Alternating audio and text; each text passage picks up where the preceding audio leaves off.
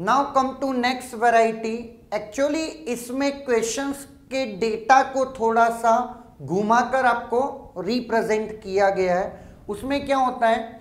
हमारे पास जो I am है, वो हम लोग किस पैकेट को फ्रेगमेंट करते हैं? एक डेटाग्राम को। वो डेटाग्राम किसका है? नेटवर्क लेयर का। नेटवर्क लेयर के पास जो डेटा है वो किससे आया है?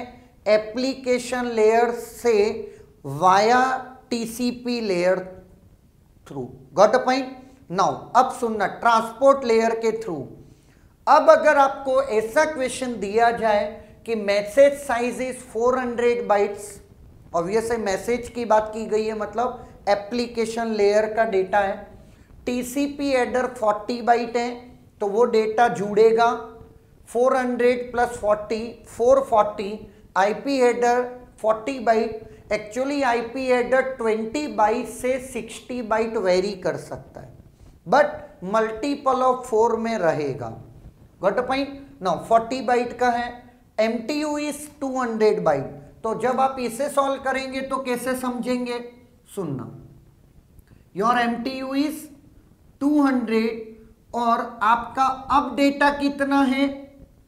Fourteen sorry four four zero and forty it is a IP header और ये आपका डेटा बात समझ में आई? अगर मैं डेटाग्राम लेंथ की बात करूँ तो ये डेटाग्राम लेंथ है। क्लियर लेंथ डेटाग्राम लेंथ में दोनों चीज़ें होती है डेटा भी होता है और आईपी हेडर भी होता है। नाउ, अब सुनना। 440 आईपी लेयर के लिए डेटा है। उस 440 में टीसीपी एडर है, हमें उससे कोई लेना देना नहीं। नाउ, जब वन 200 से जाएगा 40 गया 160 160 160 160 320 एंड 440 से 320 गया तो 120 ये थ्री फ्रेगमेंट्स बने। एम एफ़ की बात करूँ तो वन वन ज़ीरो ऑफसेट की बात करूँ तो अच्छी बात यह है कि एट से डिविजिबल आ गया।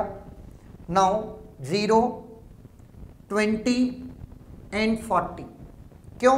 क्योंकि 160 बाइट्स अहेड है इसके तो 160 डिवाइडेड बाई एट और 320 बाइट्स तो 840 अगर कितने fragments three now overhead IP header की ओवरहेड एक पैकेट जाता तो 40 बाइट आईपी हेडर जाता, तीन फ्रेगमेंट्स जा रहे हैं तो 40 40 40 तीन और ओवरहेड कितनी?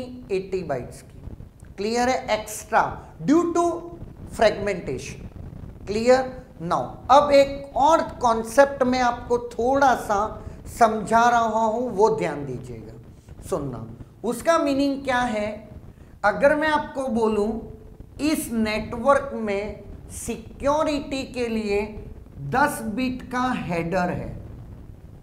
एक 10 बिट हेडर है जो जुड़ता है। तो उस केस में ये एक नया कॉन्सेप्ट है, जैसा आप कह सकते हैं कि एक बस से आप ट्रेवल कर रहे हैं। कोई नेशनल आप किसी सिटी में कहीं ट्रेवल कर रहे हैं बस से, आपको अब पता चली कि बस आगे नहीं जा सकती आप सबको फोर व्हीलर्स में शिफ्ट कर दिया गया है। गॉट पॉइंट जब फोर व्हीलर में शिफ्ट किया तो बस में एक ही ड्राइवर था। अब हर फोर व्हीलर में एक एक ड्राइवर होगा। तो जितनी ऑक्यूपेसी है, उस फोर व्हीलर की वो है। क्लियर अब आप फोर व्हीलर में चले गए। फॉर एग्ज़ाम्पल वो सारे फोर व्हीलर्स कैसे थे? एट सीटर सेवन सीटर वैसे तो आप एडजस्ट हो गए, सब चले गए। नौ अब ऐसा केस आया कि आप एक फॉरेस्ट से निकलने वाले हो। आपको फॉरेस्ट के थ्रू निकलना है। तो सिक्योरिटी पॉइंट ऑफ़ व्यू से एक गनमैन हर फोर व्हीलर में बैठेगा। तो फिर हमने उन फोर व्हीलर्स में फिर फ्रेगमेंटेशन किया और वो गनमैन हमने बिठाया along with driver driver is our IP overhead और जो गनमैन है, वो नेटवर्क का ओवरहेड है। क्लियर जैसे ही हम फॉरेस्ट से निकलेंगे बाहर, वो गनमैन हमारी कार से उतर जाएगा। बात समझ में आई? तो अब मैं ये जो डिवीज़न है, वो नॉर्मल रहा। अब मैं जो कर रहा हूँ, वो ध्यान दीजिएगा। सुनना। अब मैं क्या कर रहा हूँ? 40 गया किसका? हेडर का। 10 गया किसका? इसका 150 150 150 150 300 and 140 150 is divisible by 8 not at all तो 150 से जस्ट नीचे कौन सी वैल्यू है जो 8 से डिविजिबल है? Now 150 that is 8 1 7 0 that is 64 तो 6 बचा।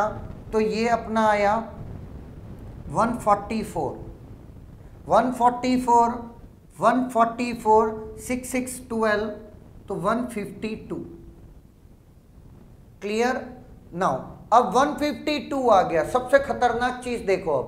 152 आ गया तो 152 भी नहीं रह सकता ना। तो ये भी बेचारा डिवाइड होगा। 144 144 144 ये 144 से कितना आगे? 8 तो इसके डिविजन्स कितने हुए?